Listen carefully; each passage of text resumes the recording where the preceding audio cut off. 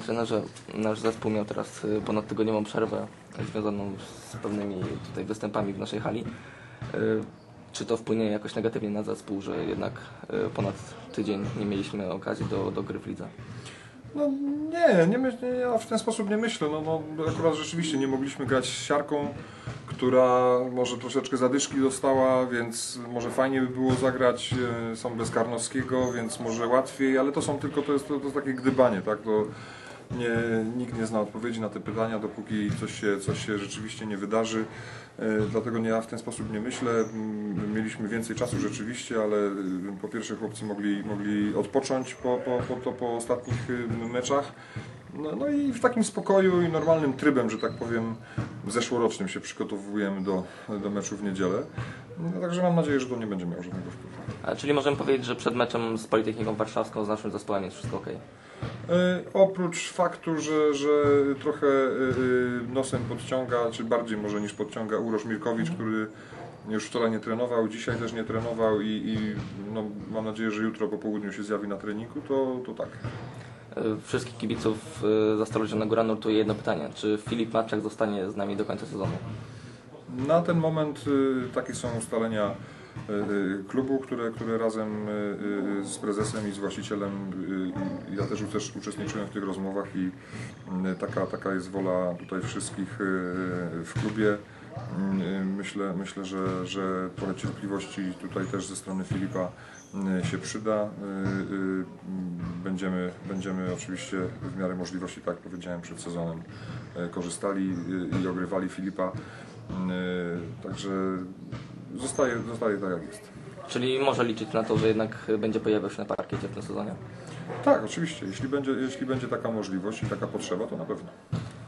Okej, to teraz może troszeczkę przejdziemy do, do tematu związanego z naszymi występami w lidze. E, Wygraliśmy trzy mecze i jeden przegraliśmy po emocjonującym meczu w naszej hali. Jak mógłby Pan podsumować e, rozpoczęcie sezonu dla Dostalu Zielona Góra? No bez wątpienia pozytywnie. No, yy, po, tych, po tych perturbacjach przedsezonowych nikt z nas tak naprawdę nie wiedział, czego się można spodziewać po, po, po chłopakach. Yy, Nie wszyscy przepracowali okres przygotowawczy. To też jest zawsze duży problem dla trenera. Yy, Nie mówiąc, nie mówiąc o, o zgraniu, tak? bo pomyślałem najpierw o jakichś takich właściwościach fizycznych.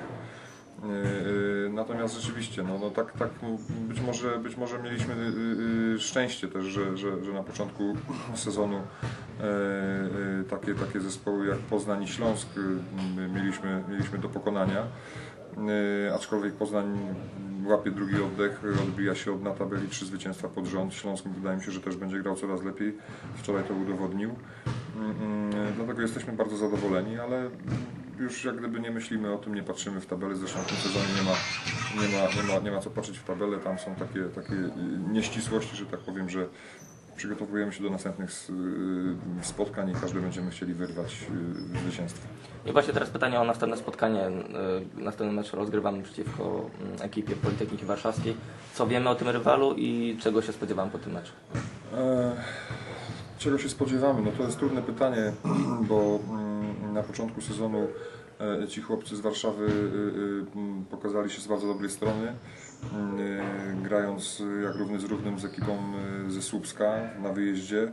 E, Wygrali dwa inne spotkania na wyjeździe. Można powiedzieć ok, ze Sławą Polfarmą, która sobie na razie nie radzi e, z Kotwicą koło brzeg, no ale Kotwica też już po- pokazała, że, że, że, że się nie podda bez walki. Dlatego trudno mi określić do końca, co, co, co, ten, co ten zespół sobą prezentuje.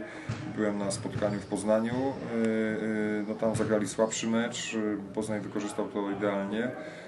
Z wczorajszych doniesień też wynika, że, że przegrywali już 30 punktami, także trudno ich tutaj zlokalizować, gdzie w jakim, w jakim miejscu są. Czy to jest kwestia mm, jakiejś presji, czy to jest kwestia mm, jakiejś niepewności siebie, czy może wyjazdu, bo jednak cztery wyjazdy pod rząd to też robi swoje. Yy, Dlatego, dlatego no, przygotowujemy się naprawdę bardzo solidnie, yy, żeby, żeby no, nie, nie okazało, absolutnie nie ma mowy o jakim, jakimkolwiek lekceważeniu rywali. Nasi zawodnicy podkreślają, podkreślają, że nie ma innej opcji jak tylko zwycięstwo w Warszawie.